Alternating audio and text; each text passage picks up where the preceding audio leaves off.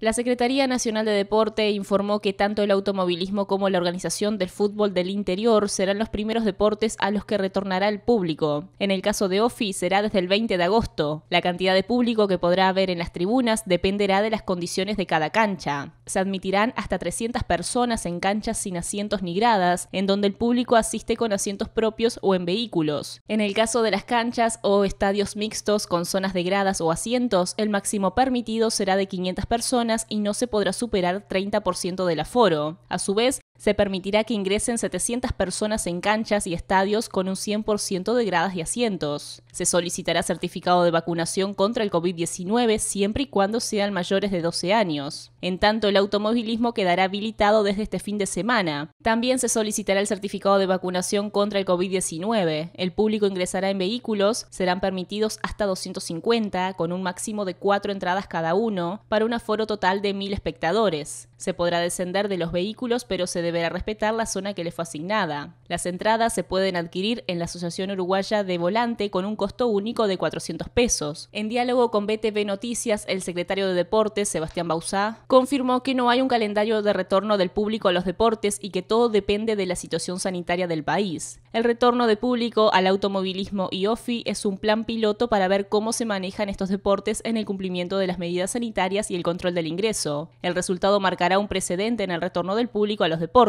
también informó que AUF y Peñarol están trabajando en forma conjunta para desarrollar una modalidad de ingreso similar a la que se utiliza en el campeón del siglo. Para esto se aguarda que el código QR de la app Coronavirus UI esté activo, ya que la persona deberá tener dos dosis para poder adquirir la entrada. Esperemos los números sigan bajando y la gente acompañe las medidas, concluyó el secretario de Deportes.